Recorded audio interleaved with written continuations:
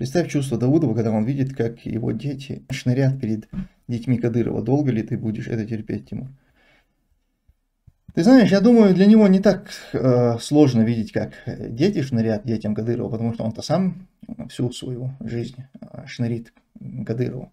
Для него сложно понимать, что теперь он должен шнырить детям Кадырова. Вот что для него реально сложно. Он, может быть, вы рассуждаете не по справедливости и объективно, а по национальному признаку и вероисповеданию, поэтому вы также нечестны, как и все кругом. Все говорят, как удобно и какие есть предпочтения. Ну, возможно, ты и прав, я и не претендую на какую-то а, справедливость в твоем понимании.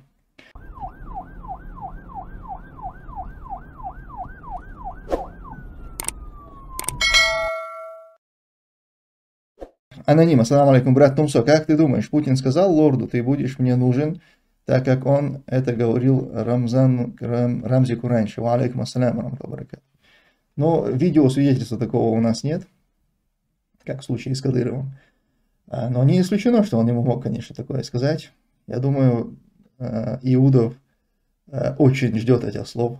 Ему он прям грезит тем, чтобы прийти власти в Чечне, занять место Кадырова.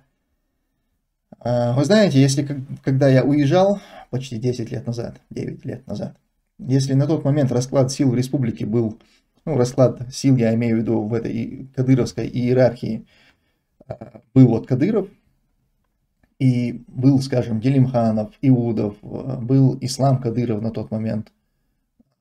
В общем, ряд именитых таких кадыровских чиновников, и они, каждый из них в этой иерархии занимал определенное место и был таким авторитетом. То есть мы, мы ведь понимаем, что это не просто один человек, а за каждым человеком стоят какие-то люди, его родственники, его личная охрана, кортежи. То есть все на тот момент выглядело вот так. Мы говорили тогда, вот есть Иудов, Делимханов, ну, помимо Кадырова я имею в виду, есть э, Ислам Кадыров, есть вот такой-то министр, тоже какой-то там значимый тип, то за 9 лет ситуация изменилась настолько, что теперь э, там есть Кадыров, есть один сын Кадырова, второй сын Кадырова, дочь Кадырова, вторая дочь Кадырова, племянник Кадырова, понимаете? Насколько вот эти фамилии Делимханов, Иудов и прочие, они вообще ушли с, с повестки, их там больше нет. То есть сейчас вся, вся суть Кадыровской Чечни вся суть этой власти, она теперь чисто на Кадырове, его детях и ближайших родственниках. Они теперь, вот эти авторитеты там, они теперь контролируют все э, финансовые потоки.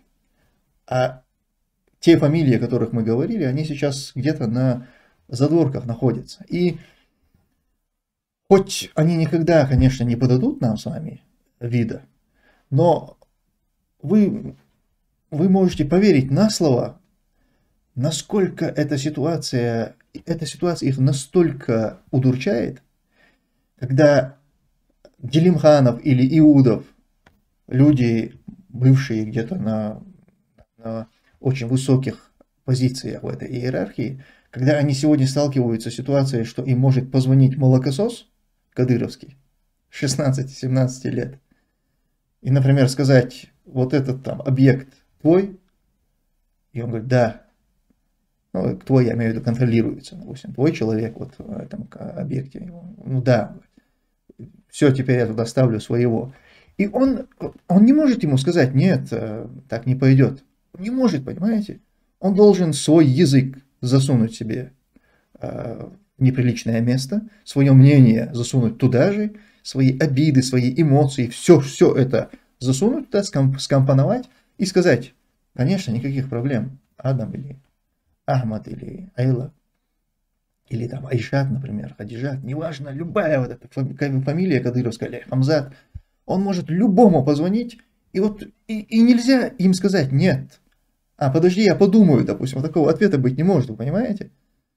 Это, это ведь настолько унижает этих людей, привыкших к тому, что перед ними э, все лебезят, все их боятся, все подхалимничают, подлизываются. Тут какие-то молокососы, И мало того, что молокососы, на них-то это не останавливается.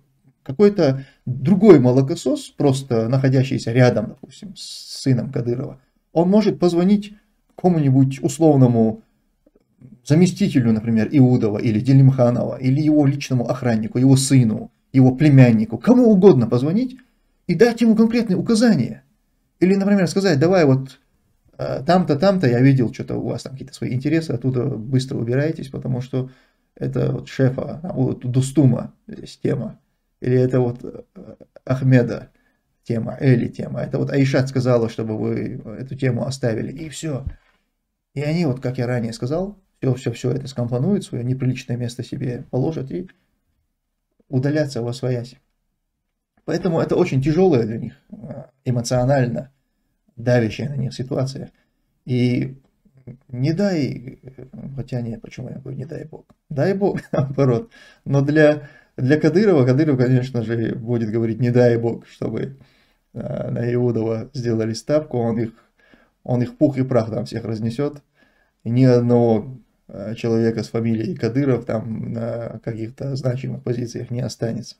И они это прекрасно знают. Они могли это видеть на примере с Афганистаном, когда рухнул, хотя это, конечно, другой совершенно пример, но даже, даже такие моменты, или, например, с Казахстаном, вот Казахстан, более хороший пример, как помните, Назарбаев, Такаев. Вроде поначалу это был настолько подконтрольный Назарбаеву человек, казалось, что Назарбаев находится в домике, что он своего преемника туда поставил, он еще будет им управлять. То есть вот так казалось. Но как только такая пришел к власти, как он все это быстро э, поменял, как он быстро разнес Назарбаева, как он его э, сделал из него просто пенсионера, сидящего где-то там у себя на даче. И это то, что произошло в Казахстане, это ведь очень мягкий сценарий. Если у Кадырова такое бы получилось, он был бы, наверное, счастлив. Но как в Казахстане вряд ли получится. Представь чувство Давудова, когда он видит, как его дети шнырят перед детьми Кадырова. Долго ли ты будешь это терпеть, Тимур? Ты знаешь, я думаю, для него не так э, сложно видеть, как дети шнырят детям Кадырова, потому что он-то сам всю свою жизнь э, шнырит Кадырову. Для него сложно понимать, что теперь он должен шнырить детям Кадырова. Вот что для него реально сложно. Он, может быть, роль вторых там, или третьих для своих сыновей, он бы ее посчитал бы даже почетной, ну и считает, наверное. Но для себя, для, ну его это в любом случае обижает, и такая, такое положение ему не по душе. И не только ему, там-то и есть еще и Делимханов, еще ряд э, других людей. Просто вы, если у вас есть какие-то вот контакты живущих э, дома людей, то наверняка вы знаете, что сейчас вся вся тема крутится вокруг вот этих детей. То есть они теперь всех там задолбали. Кортежи, каждый кортеж это по-любому какой-то ребенок Кадырова. Его дочь, его сын, его племянник, какие-то их друзья, компашки. Они теперь, только они теперь везде разъезжают. Остальных теперь никто и не видит, не уважает. Они, они ушли на какие-то десятые планы. Теперь все зиждется, крутится вот вокруг этой кадыровской огромной семейки. И у них еще там на подходе, понимаете? Там ведь не так, что э, как с Путиным, допустим, он умрет, все ждут его э, смерти, и там непонятно, что дальше. А здесь-то наоборот, здесь еще целый, э, целая команда подрастает, и им все, их всех тоже нужно будет куда-то обустраивать.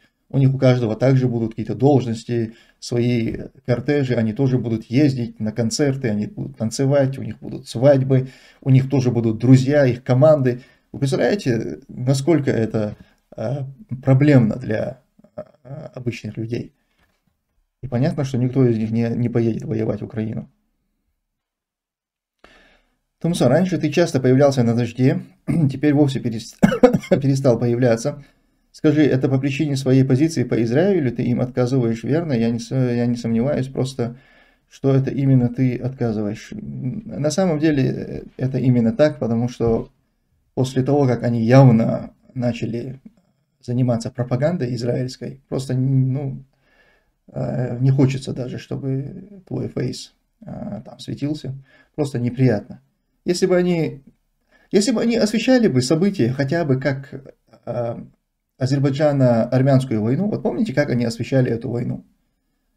Там у них был человек, э, Василий Полонский, по-моему, Полонский фамилия, был на, значит, в Азербайджане, оттуда вещал, прямые включения делали. И у них был, был другой корреспондент, по-моему, даже они менялись на стороне, э, ну то есть в Армении.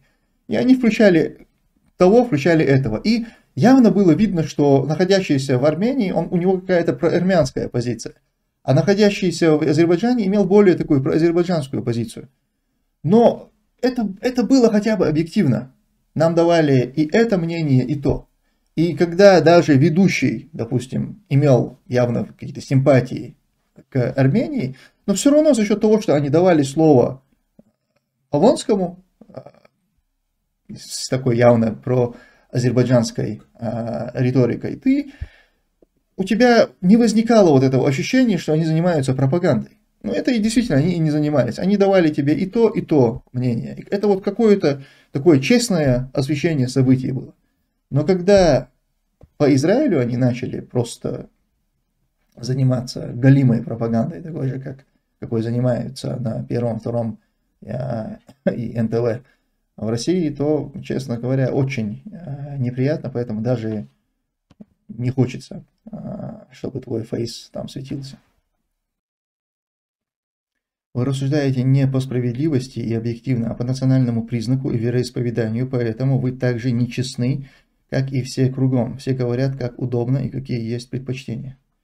Ну, возможно, ты и прав. Я и не претендую на какую-то а, справедливость в твоем понимании. А, то есть, э, и вопрос справедливости, он, он тоже у каждого а, свой. Он абсолютно субъективный, и в этом ты прав. То, что для меня, то есть смотри, есть некая Э, база, что мы считаем справедливостью.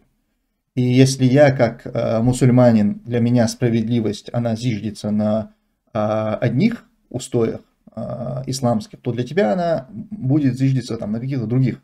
И поэтому у нас с тобой даже сама справедливость может быть разной. Но я и не претендую на то, чтобы все, все, кто зайдут на этот канал, посмотрели и сказали, а вот это справедливо. Возможно, многим не понравится то, что я говорю, и покажется несправедливым. И, возможно, их системе ценностей и справедливости это будет несправедливо для них. Для меня это, естественно, будет справедливо. Но смотри, разница между мной и телеканалом в том, что я-то и не претендую на какую-то объективность. Я-то являюсь блогером, я вещаю свое мнение, свое видение. А телевидение, журналистика, она обязательно должна соответствовать э, стандартам журналистской этики – и они не могут, если они журналисты, они не могут с одной стороны подавать информацию. Это, тогда они должны, как и я, называться блогерами. То есть они являются пропагандистами. Если ты не объективно освещаешь, то есть э, не ты как личность, а, а канал освещает не объективно, а подает информацию так, как выгодно одной стороне, то они являются пропагандистами. Так же, как и российские журналисты.